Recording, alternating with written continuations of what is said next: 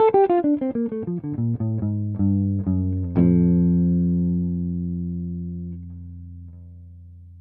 доброго дня. Э, меня зовут Имин Джафаров. Я работал при службе метро московского фотографом. То есть э, я был фотографом шестого разряда. Я не знаю, э, это хорошо или плохо, но так уж получилось. Я вот честно не знаю, о чем рассказывать, потому что как бы съемки в метро особо ничего себе не представляют. То есть это тот же репортаж, только с более повышенным ИСа, поэтому... Ну, во-первых, фотосъемку в метро разрешили сравнительно недавно, уже при нынешнем ну, э, фотосъемку метро... Пегове. Ее разрешили примерно тогда, когда Медведев разрешил съемку на Красной площади. Поэтому как бы снимать сейчас метро можно, можно всем, а вот видео на самом деле снимать пока что нельзя. Поэтому... Но при этом не препятствует проходу пассажиров и без штатива, и без вспышки. С исторической, я с фотографической. Э, я могу рассказать о работе пресс-службе, я могу рассказать о том, какие съемки у нас проводятся, для чего они проводятся для кого.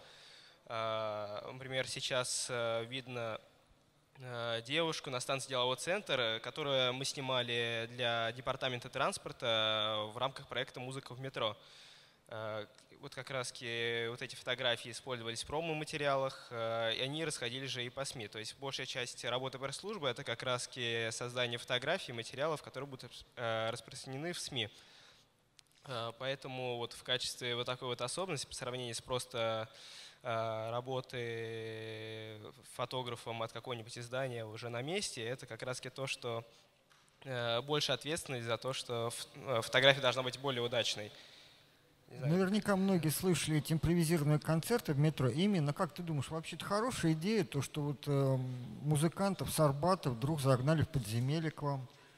Ну, на самом деле, это отличная идея, потому что качество музыки, во-первых, выросло, во-вторых, появилось более-менее какое-то техническое обеспечение. То есть раньше можно было увидеть, например, на переходе э, с театральной на, на охотный ряд Э, девушка, которая играет на скрипке, но при этом э, как бы она была не очень публичной, ее нельзя было никак не сфотографировать, э, не подойти, то есть все с целью нажива. А тут у музыкантов появилось реально появились условия работы в метро, они зарабатывают на этом довольно-таки приличные деньги, и их, вот главный для них плюс то, что их никто никуда не гоняет.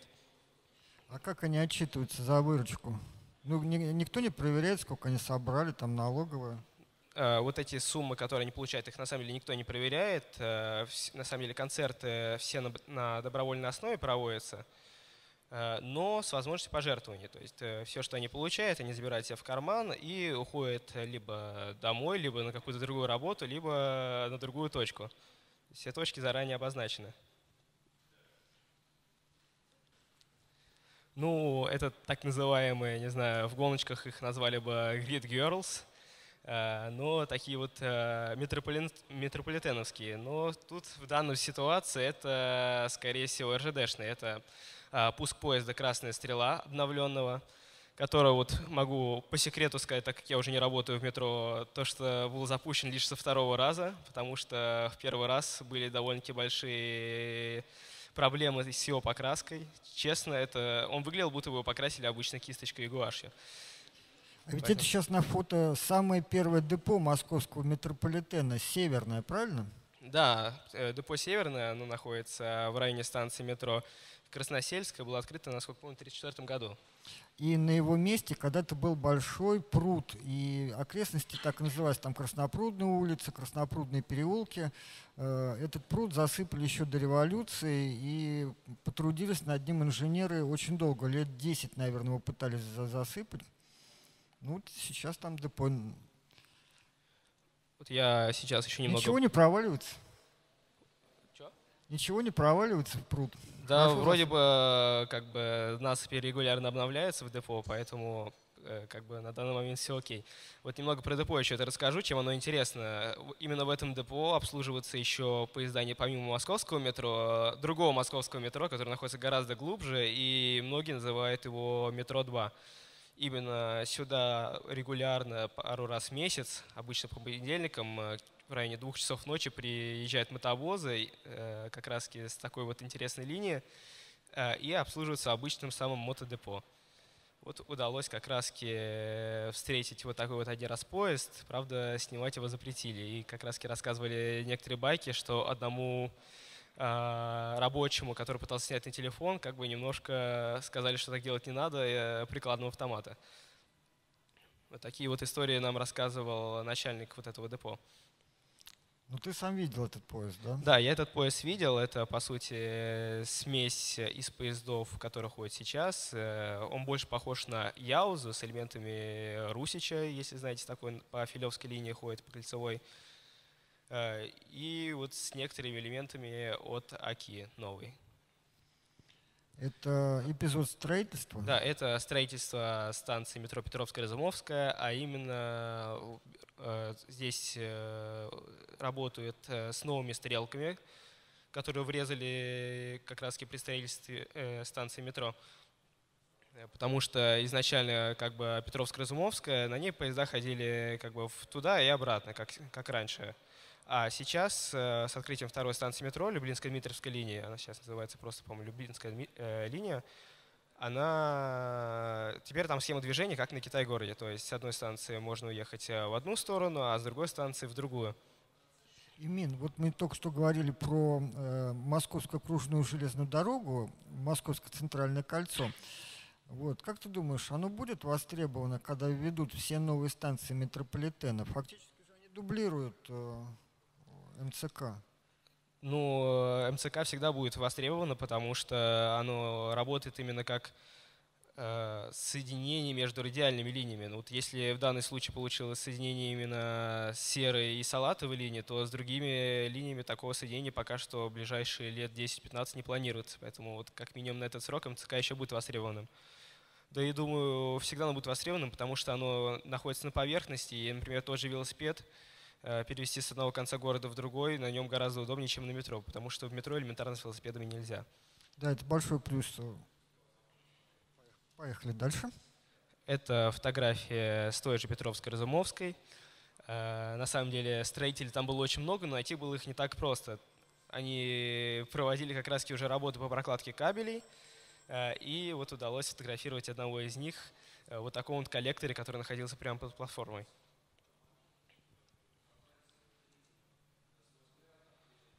Вот это как раз тоже станция Петровско-Разумовская, буквально за месяц до открытия. Вот когда посещаешь э, метрострой, и строители говорят, что откроют э, станции через 2-3 недели, вот станция выглядит вот примерно вот так. И вот до конца, на самом деле, не верится, э, что станция будет открыта в срок. Но здесь, в данный момент, вот, который запечатлен на фотографии, проводятся как раз отделочные работы – но хитрость метростроителей в том, что станции, как правило, открываются одним вестибюлем, и поэтому открываются они именно в срок. А второй вестибюль сдается гораздо позднее, может даже через полгода, а может даже через год, а может даже через 10 лет. Вот это одна из моих самых э, нелюбимых съемок, потому что меня э, дернули после работы прямо по пути в аэропорт. Это была дикая жара, по 35 по градусов было. Э, сотрудники ЦОМПа, это Центр обеспечения мобильности пассажиров, который помогает инвалидам метро, э, раздавали пассажирам воду. Но так как у нас э, был довольно-таки веселый начальник, который хотел показать СМИ, что работают все и работают все очень хорошо, приходилось ездить на съемки и после работы, и ночью, и даже выходные. Поэтому некоторые съемки, несмотря на то, что они были довольно-таки интересными, являются очень любимыми из-за этого факта. То есть у вас там был ненормированный рабочий день? День был крайне ненормированным. А вот это уже какие-то мотовозы пошли. Да, это как раз тот самый день, когда нам удалось пересечься с поездами из метро 2. Э, это э, мотовоз, э, насколько я помню, называется МТК. Таких мотовозов довольно-таки много, по-моему, уже в районе 10 штук, если не больше. Э, и используются они для самых различных целей. В данном случае для них, на них были прицеплены специальные тележки для перевозки рельсов. То есть э, рельсы довольно-таки длинные, и это было огромное количество тележек. Вот сейчас, по-моему, они должны быть на фотографии. Вот. Э, много тележек, на которые цеплялись рельсы. То есть рельс довольно-таки эластичная вещь, несмотря на свою прочность. Поэтому переводится она вот таким вот длинным, но довольно-таки эластичным поездом. Э, какой источник питания? Они же работают без контактного рельса? Да, мотовозы все это э, дизельные поезда, называют их вообще в метро официально хозяйственными единицами, э, заправляют их в депо. Э, но на самом деле, вот э, если раскрывать тему дизеля, то это не последняя вещь в метро, которая питается от дизеля. Э, у метро есть э, довольно-таки много подземных электростанций, которые предназначены для резервного питания. Э, например, вот одна совсем находится недалеко, на Коровьем валу в районе метро Павелецкая. То есть если смотреть какие-то внутренние документы, то можно увидеть то, что довольно-таки много дизельного топлива заводится в какие-то жилые дома. На самом деле из жилых домов, прямо из подъездов можно попасть прямо в районе, там что-то в районе 50-100 метров под землей заложения находятся огромные дизельные электростанции, которые питают метро в случае отключения от городской электросети. А, вот, кстати, что касается электроэнергии. А, на самом деле, немногие знают, но метро далеко не главный потребитель московской электроэнергии. А, кто-нибудь знает, на что больше всего расходится московская электроэнергия? Освещение? Да, это городское освещение. Ну, это как раз, опять же, первое депо, э, снято из э, того самого мотодепо. Тут можно приближать, интересно? Да, можно приближать. Э, вот здесь э, готовятся как раз к отправке э, мотовозы. А вот если посмотреть левее, то видно э, один вагон красной стрелы, который уже немножко проржавел. Э, краска его облуплилась. Это тот самый вагон, который был э, взорван на станции Парк культуры. Э, в каком году? В 2011 году. Там велись следственные действия в депо, то есть его туда поставили и там как-то работали с ним, да? Да, работали, но так как следственные действия могут идти десятилетиями, его не торопится пока что убирать. Э, также такие действия велись с фотоаппаратом, на который были сняты многие из этих кадров, потому что этот фотоаппарат, на этот фотоаппарат были сделаны кадры э, поезда, который сошел с рельс э, на перегоне Парк Победы Славянский бульвар. То есть вот этот фотоаппарат Nikon D3 изымали из метро, и, собственно, Следственный комитет несколько месяцев на него просто фотографировал. Это я показывал. А, вот, кстати, мотовоз, это он только ночью появляется, днем нельзя увидеть так, такую технику. Днем мотовоза можно увидеть. Одно из немногих мест – это отстойник, а, тупики за станцией Парк культуры. То есть если ехать э, по направлению, да, в принципе, э, с двух направлений его прекрасно видно. Стоит как раз либо вот такой МТК, либо более ранняя модель. Э, просто без людей, без э, бригады стоит, отстаивается, ждет э, своих ночных поездок. Ну а в мае всю эту специальную служебную технику можно увидеть на станции метро Партизанская на выставке, которую ежегодно проводит Мосметро. Ну, на самом деле не всю, а лишь некоторую часть, э, которая является исторической. Я не знаю, как будет в этом году, я такой информации уже на данный момент не получаю но, скорее всего, э, будет э, на базе ЗИЛа мотовоз, э, как всегда, и старые поливомоечные агрегаты. На базе ЗИЛа или газа? Ой, на, Га- на базе газа, да. На базе ЗИЛа в метро есть другие агрегаты, они использовались раньше в депо, и у них помимо шин были еще стальные колеса для передвижения по рельсу. Но они были очень быстро списаны. Это вот как раз мы ждали, когда проедут те самые паровозы, их называют паровозы работники метро, те самые э, поезда из метро 2. И только после этого мы могли отправляться. Мы ехали в сторону станции Черкизовская, и именно там производился как раз производился сброс рельс, а уже в следующие ночи их меняли. Вот, э, вот такие вот карточки удавалось сделать э, по пути к Черкизовской. Э, опять же, это была ночная расстановка, то есть поезда ночью не, некоторые не уезжают в депо, а просто остаются ночевать в туннелях. Там как раз мобильные бригады и проводят такую легкую уборку, но большую чистку с обеззараживанием проводят только в депо. Вот так вот выглядит кабина машинистов. Слева человек контролирует, собственно, движение, производит сигналы. То есть если какой-нибудь человек обнаружен в туннеле, рабочий путеец, то он сразу включает экстренное торможение и подает ему сигнал. Сколько человек обслуживает мотовоз? Мотовоз обслуживает, э, ну, как бы есть локомотивная бригада, это два человека, и два человека э, как раз производят работы по разгрузке. Помимо, как бы это те люди, которые приезжают на место, ну, помимо них есть еще люди, которые уже на месте и уже готовы разгружать те самые рельсы. Э, мотовоз оборудован э, кондиционером, что не может не радовать в летние периоды, потому что московское метро, его туннели за 82 года настолько прогрелось, что э, при работе дизельного двигателя внутри, в туннеле находиться в нем просто нереально. Вот эту фотографию я сделал во время пожара на станции метро Выхина. Там сгорело несколько метров кабелей тяговых.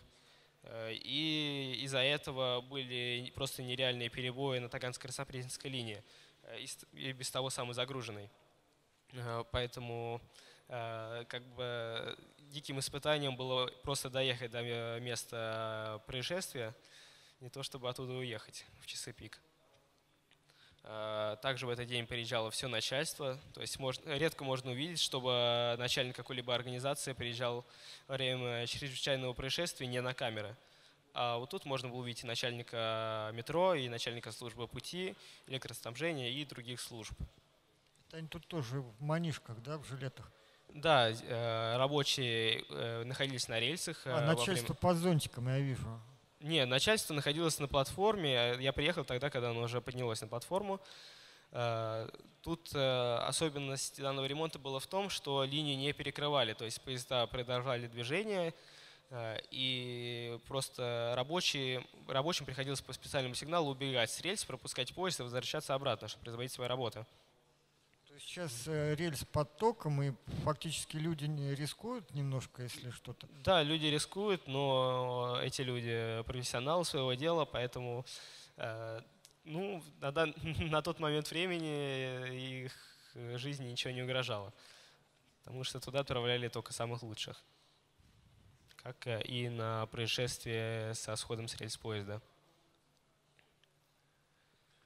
Это тема МЦК, опять же, э, не мог сюда не пихнуть ее, потому что э, МЦК тоже неотъемлемая часть метро и контролируется тоже помимо служб РЖД службами метро. Э, это катали журналистов за месяц или два до открытия. Ну, как бы тут много чего не говорили, хотя там был и Лайф, и другие довольно-таки желтые издания можно было заметить, что некоторые платформы находились э, на гораздо большей высоте, нежели должны. То есть э, можно было приехать на некоторые станции и увидеть, что платформа находится прямо под стеклом. По итогам того пресс-тура показалось, что МЦК вообще будет не востребована, ну, потому что настолько унылый пейзаж вокруг был и настолько как-то все невыразительно выглядело. Но вот э, действительность опровергла. Ну, тут даже скорее не то, что не востребовано. Все миллион... боялись, как бы его смогли открыть вовремя, потому что должен быть был э, Путин, он в итоге приехал. А, Собянин. Собянин, кстати, лично контролировал открытие МЦК. Он приезжал э, в последних числах августа без журналистов, без никого, даже без особой охраны. Встречался со строителем, встречался с руководством. Я туда попал совершенно случайно во время съемки э, в вестибюле станции спортивная. И как бы и жители даже могли с ним пообщаться, что самое удивительное. Собянин Суров. Собянин как, еще как будет. он общался с, к, со строителями? Э, ну, на самом деле, общение Собянина со строителями – это, по сути, вопросы и нервы, нервные взгляды строителей в попытках отчитаться. Сказать, что все хорошо, хотя на самом деле это было далеко не э, всегда так. Это станция, ой, это не станция, депо Новогиреево. Э, проводится обслуживание подвижного состава. В отличие от других депо, это депо первое, где э, обслуживание состава производится по контракту жизненного цикла. То есть поезда обслуживают, обслуживают не силами метро, а силами Траншмасс-холдинга, от того же метровагон Маша. Вот эта организация довольно-таки тоже интересная. Я очень хотел в свое время поехать туда на экскурсию, но, увы, не удалось. Как бы, если уж рассказывать про... Даже снимает, да, на камеру? А, ну тогда, если кому-то интересно о разных коррупционных схемах с этой организацией, я расскажу индивидуально. А, это мойка составов. В этом депо она проводится вот таким способом. То есть если в каком-нибудь депо Калужское можно э, увидеть э, специальные агрегаты, специальные канавы для этого, э, как, собственно, на автомобильных мойках, то тут все проводится шлангами и специальными швабрами. Это депо, насколько помню, Замоскворецкое. Э, эти поезда должны проходить как раз капитальный ремонт и долгое время еще простоят без пассажиров. Они выйдут на линию. Э, собственно, вот так проводится подготовка состава к выходу на линию. То есть закачивается воздух в пневматическую систему, э, человек, нарушая технику безопасности, пытается починить фару. Вот таким вот способом Буквально через секунду ему удалось заставить ее работать. Так, если уж возвращаться опять к любимым съемкам, то э, работа при службе это рутинная работа по фотографированию всяких ремонтов, всяких э, реконструкций. Э, поэтому большую часть времени приходилось проводить на ремонте вестибюлей. То есть это вестибюль станции метро Варсидская, Э, отчет для мэра, отчет для Лексусова, э, главы департамента транспорта, какие работы были произведены. То есть вот такая вот не особо интересная съемочка. Вот когда я делал вот эту фотографию, меня пыталась отобрать фотоаппарат какая-то не очень нормальная женщина, которой не понравилось то, что она могла попасть в кадр. Хотя, как видите, в кадр она не попала. Потому что Но я напомню, было... что фотографировать в метро официально можно но, опять же, без штатива. Но если есть желание сфотографировать что-то на длинной выдержке, в метро есть много всяких ящиков, выпуклостей, куда можно поставить фотоаппарат и вот таким вот способом сфотографировать. Потому что эта фотография тоже без штатива была сделана. Вот э, иногда к нам захаживали вот такие вот персонажи. Это певица Лолита. Э, Ее мы фотографировали для корпоративной газеты «Мое метро». Там мы фотографируем Э, всех знаменитостей, которые иногда к нам захаживают. Даже вот можно увидеть здесь еще кого-то, не могу различить кого. Фотографировал я не... Алексея Кортнева здесь можно увидеть, э, который попал в прошлый номер этой газеты. Так, куда-то у меня все ушло. А, собственно, Лолита женщина довольно-таки веселая, и фотографироваться с газетой в классическом понимании она не очень-то и захотела. Поэтому она сказала, то, что тут хороший ветер, и, пожалуй, держателем газеты станет мое тело.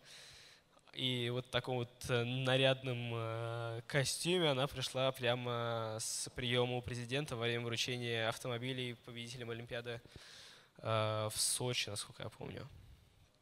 Это депо Черкизова. Выезд, а, точнее заезд с линии после утреннего часа пик в депо на обслуживание поезда. То есть этот поезд выйдет уже только следующим утром опять на линию. Но помимо обычных поездов Сокольнической линии, э, сюда приезжают и другие поезда. И вот этот поезд, насколько я помню, приехал с Арбатско-Покровской линии. То есть не во всех депо есть оборудование для обслуживания всех типов поездов. Поэтому Э, какие-то поезда приезжают в депо, куда, где они в принципе никогда не появлялись. То есть э, в депо Черкизово обслуживаются поезда типа номерной 81-718, но туда приезжают и Русичи, и АК, потому что, например, в депо Фили для АКИ пока что ничего не сделано. А туда она тоже э, поступает иногда. Это самые обычные субботние, а сейчас уже воскресные ремонтные работы Э, на станциях метро, то есть это так называемые технологические окна удлиненные. Э, за ночь э, редко удается что сделать, например, поменять те же самые рельсы. За ночь довольно-таки трудно, поэтому линия закрывается на 24 часа, и просто делаются нереально огромные масштабы тех самых работ. Сейчас э, на новых, э, у меня, к сожалению, сейчас нет фотографии полностью тележки, э, подъемника. Э, Сейчас идет побелка потолка на станции Красные ворота. Красные ворота, да, ну, или Охотный ряд, честно, сейчас не вспомню.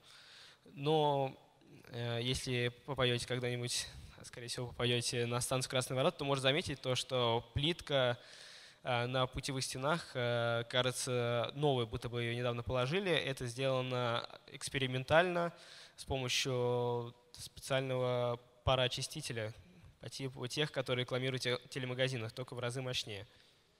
Именно. Э, К сожалению, наш поезд следует в депо, и пассажиров просят освободить вагоны. Э, Место президиума должен занять следующий спикер. Сейчас есть вопросы к Имину? У нас есть время, чтобы... Так, прокручу фотографии еще. Нет вопросов, да? Тогда сейчас Наталья Вершинина. Ну, в принципе, завершу, так Спасибо. э, сказать, э, тем, что на самом деле не посоветую идти в пресс-службу, если нужны какие-то разнообразные интересные съемки, потому что э, работа довольно-таки рутинная, и фотографировать приходится часто всякую фигню, извиняйте. Всем спасибо большое. Спасибо.